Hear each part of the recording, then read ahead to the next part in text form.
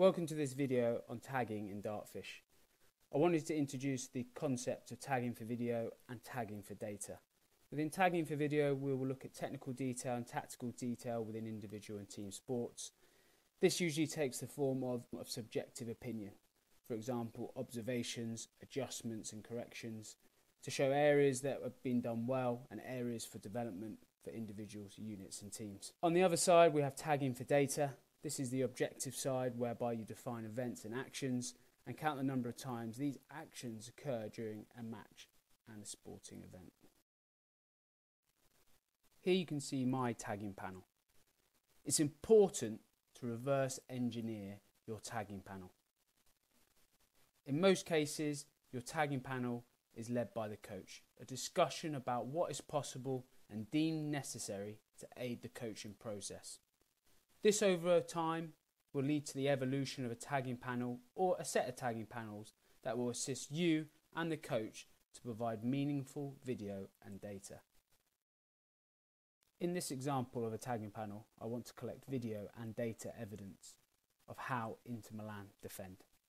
For collecting data evidence, I've tagged the opposition's final third entries and penalty box entries, as well as shots on target, off target, blocked, and the shot on target outcomes.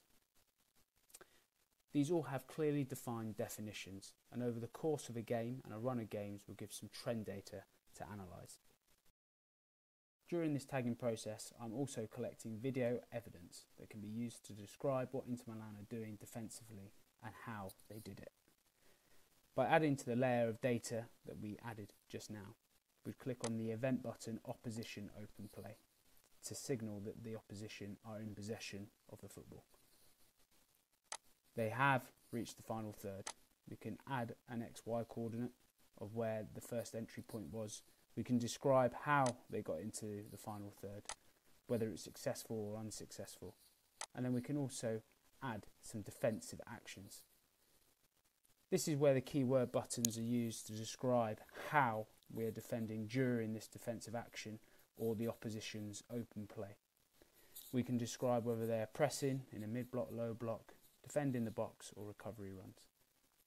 All we need to do is determine what of these is most applicable to that period and that moment in time. We can also add who it relates to, whether it be the team, the front strikers, the midfield, or the back five defensively. By adding these layers of keywords, it will allow me after the game to search for key information that I may wish to explore further and create and present some montages that can be used to feed back how we defend. Show an example in action. So Barcelona in, are in possession of the ball. They are building.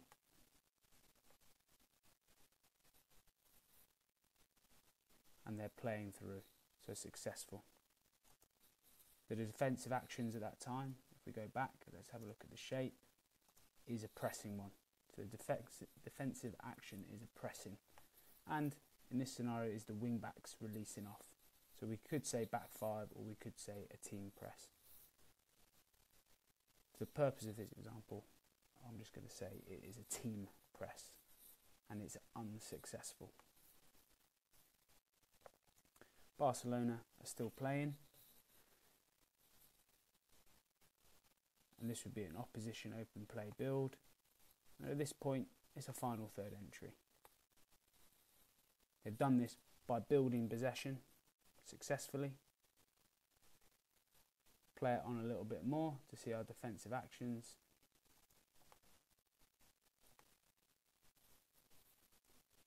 This could fall into one or two different situations, and it's important at this point to understand your own definitions for your technical and tactical play. For this, this will be recovery runs back into shape as Barcelona have split us defensively. This is a team related keyword and it's a successful regain. Every time it triggers this back to the game tagging panel, at which point we can now start to actually tag our own open play.